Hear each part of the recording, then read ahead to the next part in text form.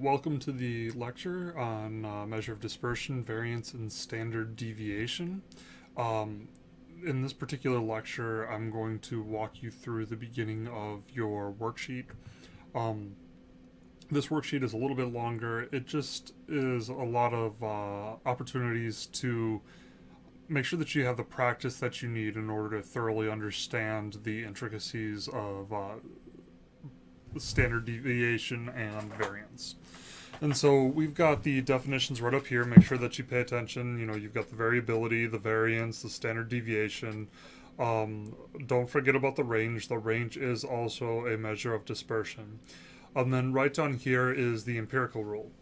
And so this empirical rule states that if a data set is normally distributed, 68% of the data will fall within one standard deviation of the mean, 95% will fall within two standard deviations of the mean, um, and 99.7% will fall within three standard deviations of the mean, which leaves 0.3%. So don't forget that 0.3%. The 0.3% is split up evenly between both sides. So this is a way that I really like to draw out the empirical rule because it really helps you to conceptualize, hey, this is where the data is. Now, um, it's important to note that this is not supposed to demonstrate how spread out the data is. Uh, this actually, this data could be very close together, or, or sorry, um, this is not meant to uh, demonstrate um, the location as far as the quartiles. Um, that's what it's not meant to do. Not meant to do the quartiles. Um, but it is meant to show you, you know, if you have normally distributed data, how far the uh, within how many standard deviations the data will fall uh, from the mean.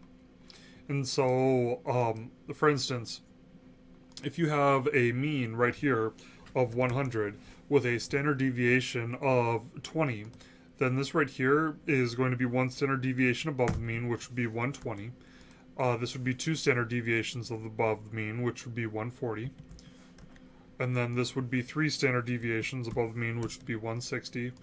Um, and then once again going the other direction, uh, it would be 80, and then this would be 60, and this would be 40. And so what we would say is that uh, 34, or rather 68% of the data uh, falls between 80 and 120. So 68% of the data falls within one standard deviation below the mean, and above the mean. And then 95% falls within two standard deviations above uh, and below the mean. And then 99.7 falls within three standard deviations above and below the mean. So if you were to look at this and be like, okay, uh, what percent of the data is above the mean? Oh, that's, you know, if I'm only looking at one side, I guess I could add up all of these, or you could know that, you know, the mean literally with a uh, measures of dispersion, it splits it up, and 50% is above and 50% is below. And so that's just something that you really need to be paying attention to. So coming down here, I've got an example that uh, I like to use, and uh, we're going to look at this.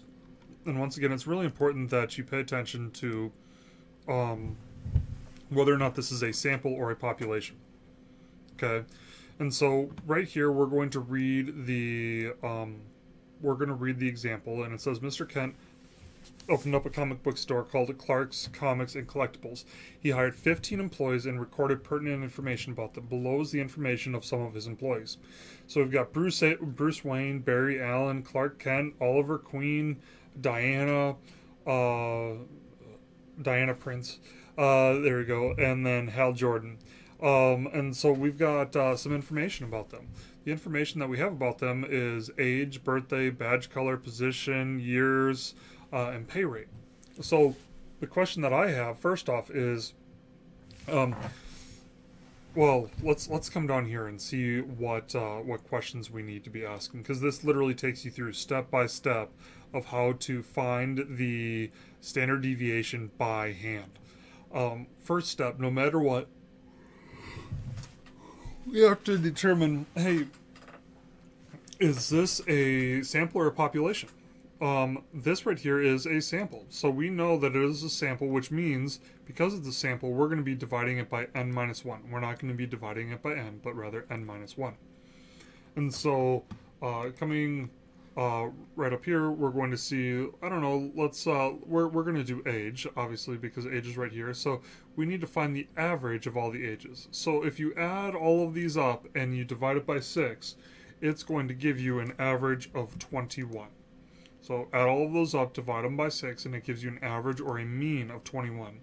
So now here you're going to record all of the deviations from the mean. So um, you're going to subtract the mean from uh, each observation. So 22 minus 21 gives you 1. 16 minus, uh, 21 gives you negative 5. Oops. Uh, 18 minus 21 gives you negative 3. Um, and then 21 minus 21 gives you 0. 26 minus 21 gives you 5. And then 23 minus 21 gives you 2. And so these are referred to as deviations from the mean. These are each individual observation's deviations from the mean. And so you're probably thinking, well, why can't we just take the average of all of that? Well, first of all, if you did take the average of all of that, uh, it should give you zero. You add it all up all together and it'll always equal, the deviations from the mean will always equal zero. If it doesn't equal zero, you did something wrong. So, uh, sorry, I, that's step three. So step two, we've got the find the mean. Step three is find the deviations from the mean. And then step four is square each, uh, each individual deviation from the mean. Um, and this is going to do a couple things, but mainly it's going to make it so that uh, it gets rid of all the negatives. So 1 times 1 is 1. Negative 5 times negative 5 is 25. Uh, negative 3 times negative 3 gives you 9. Uh, 0 times 0 gives you 0. 5 times 5 is 25. Uh, and then 2 times 2 is 4 and then uh, after that you have to add them all together, which is going to equal 64 uh, if you add all those together. Uh, and so this gives you the sum of squares. This term right here is literally referred to as the sum of squares or the squared deviations from the mean. So if I were to ask you for the sum of squares or the, the sum of the squared deviations from the mean, it gives you 64. Next, you've got to divide it by uh, n or n minus 1. In this particular case, it's going to be divided by n minus 1 because we're dealing with a sample. And so dividing uh, 64 by 5, because we have a total of 6 in our sample, so 64 divided by 5 gives you 12.8.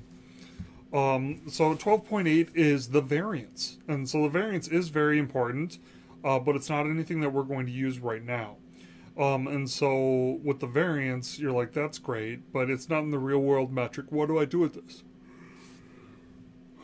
So what you do with it is you take the square root of it. So take the square root of it, and it's going to give you 3.5778. And so we've got the square root of the variance, or the standard deviation. Um, and so what we know is that uh, the average age is 21 and the employees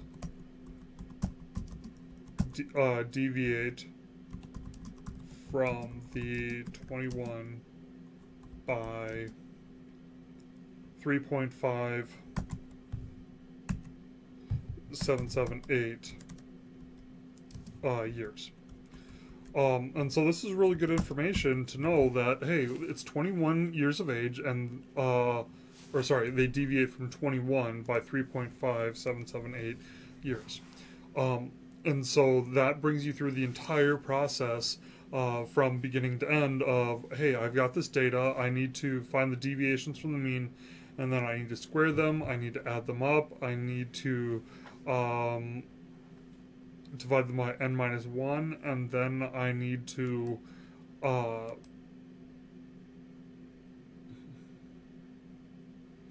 uh, the, then I need to divide it by, uh, or take the square root of it to give you the standard deviation. Um, there are several more that you can practice with, and all of the answers are on your sheet. Uh, if you uh, open up your Excel workbook, all of the answers are there. So I would encourage you to practice with these and just check your answers. And then after you check your answers, you can go and continue on with this learning content. You can do this uh, with the same uh, graph that I gave you. Uh, or you can do this, uh, you know, with Excel. You can do this however you want. Um, and yeah.